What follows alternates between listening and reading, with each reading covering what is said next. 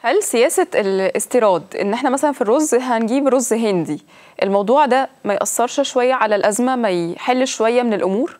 لا ده حل مش مش منطقي إن أنا أروح أجيب رز من الهند وأنا عندي اكتفاء ذاتي من الرز دي خيابة بالبلدي كده أنا لازم أتصرف لازم أشوف حل لازم آه، بص يطلع حد بقول لك يبقى إيه آه، يبقى. مجنون أنا أنا نفسي يجي وزير مجنون أو وزير مختل عقليا. يقوم يحسوا ان هيتجنن عليهم يخافوا الناس دي ما بص إذا ما شافتش العين الحمراء مش هت مش هتمشي معاك كويس. أنا عارف الناس دي بتعمل إيه. بدليل أقول لك على حاجة. في واحد من التجار الأمناء وأنا بأكرر لحضرتك من التجار الأمناء. إمبارح حصلت عنده تقنية مشاكل تقنية كده ما ذبحش لحوم سودانية. تخيلي إيه، مجرد ما وقف الراجل ده واحد من ال- اللي بيقودوا السوق في اللحمة. مجرد ما وقف اليوم ده اللحمة نطت 20 جنيه. واحد بس وقف؟ واحد بس. واحد واحد محترم الحقيقة تاجر أمين. مجرد ما وقف يوم واحد اللي هو بتاع امبارح ده. حصلت مشكلة في المجزر حاجة زي كده ولا بتاع؟ وقف يوم واحد. تمام؟ ال ال ال الآخرين التجار زملائه الآخرين اتفقوا يعلوا السعر. علوا السعر 20 جنيه.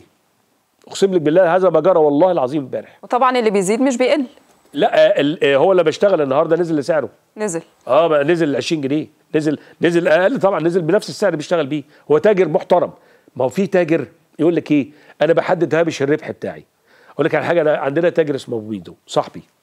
أبو ميدو ده بيعمل إيه؟ مرة رحت اشتري منه لبن نسلة. أو آه لبن وخلاص عشان ما اعملش إعلانات ولا حاجة.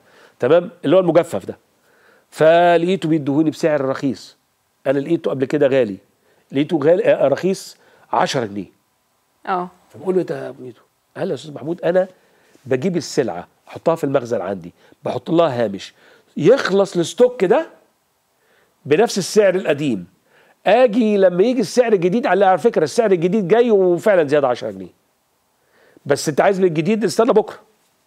قلت له طب ده في حاجة؟ لا في مدة صلاحيه ثلاث شهور أو أربع شهور. لكن الباقي بيعمل إيه بقى؟ اللي بيزود 10 بي- جنيه. بيسعر على طول على السعر الجديد من اللي هو جايبه بقاله فترة كمان. بص ده, بس مجرد ما يزيد السعر في أي حتة يروح مزود القديم. يعني يعني اللي عنده في المخازن يزوده. يعني أنا أنا دلوقتي أهو في ناس يوم ما الدولار اتعاوم أول مرة بعد 19 كان في 19 فاكر التعويمة بتاعت 19 دي؟ والله في ناس كان عندهم حاجات في المخازن. التعويم حصل مثلا الساعة 6 6 و5 الحاجات بتاعتهم زادت الضعف. دي حقيقة فعلا. طيب عايزين إلى جانب دور الدولة المواطن أكيد ليه دور وعايزين نتكلم على وعي المواطن. إزاي يكون عنده وعي كافي يتحرك إزاي والله ما حد بيساعدنا. إزاي؟ عشان أكون صريح معاكي ما حدش بيساعدنا في حملة المقاطعة دي إلا الإخوة الأقباط حبايبي. بيريحوني. عشان الصيام ولا عشان متضامنين؟ طول السنة. تمام؟ آه، يعني أنا عندي منفذ في الفجالة تابع للجمعية. إحنا بقى نحب نقفله. لأنه المنطقة كلها يعني منطقة فيها آه، بيقطنها بعض الأصدقاء المسيحيين أو معظمها مسيحيين. فأنا اللي بيريحني في الحكاية دي ولذلك في مرة قالوا هنعمل حملة مقاطعة بعد ما المسيحيين فطروا. قلت يا ظالم عايز تعمل حملة مقاطعة بعد ما الناس فطرت. طب استنى الناس تاكل حتى زينا يعني يعني لما نيجي نعمل مقاطعة نعملها وهم صايمين. يعني في توقيتات معينة. يتعمل فيها المقاطعة آه آه. طبعا. أنا على فكرة آه، في حملة عملناها في مرة كان آه، كان فيها صيام جابت نتيجة. لأنه المسلمين على الجانب الآخر جزء منهم قاطع على ال- الكوتا بتاعت المسيحيين اللي ما كلتش لحمة لا يعمل مشكلة في السوق يعمل دروب في السوق. يعني فكرة- إيه العوامل اللي تنجح حملة المقاطعة؟ العوامل اللي تنجح حملة مقاطعه انتشارها آه، على السوشيال ميديا واقتناع الناس بالحكاية. واقتناعها بأنها توجد بدائل إلى حين انتهاء المشكلة بتاعت المقاطعة. يعني مثلا إحنا بنتكلم على شهر. المره أنا أول مرة أعمل مقاطعة لمدة شهر. عن إيه بالظبط؟ عن اللح- عن اللحمة. اللحوم. آه. وال- ولا الحملة على فكرة عنوانها كده خليها تنعر. مش خليها تعفن لأن أنا مش قص- مش قصد الجزار.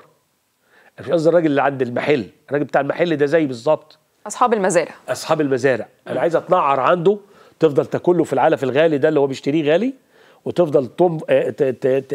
ت...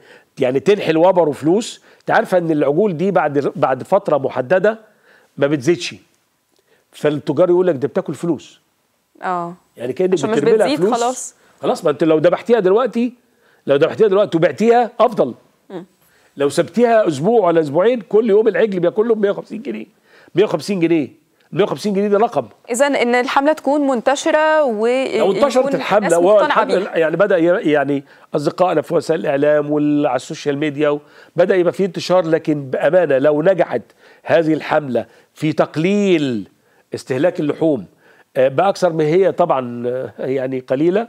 أنا أتصور إنه ممكن يبقى في ردعة. أنت برضو محتاجة نفسي مرة واحدة.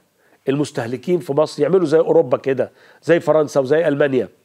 الألمان لما بيقولوا حملة مقاطعة إنسي. مفيش بيضة تت... ده ده بي... بي... بيضطروا يرموا البيض في بعض الأحيان. اللبن ما حدش يشرب لبن خلصت. لأنه آه، آه، الناس دي عندها إرادة. فاهمة كويس جدا؟ إنه اللي مش هيجيب له حقه الحكومة. الحكومة ما بيجيبش حقه.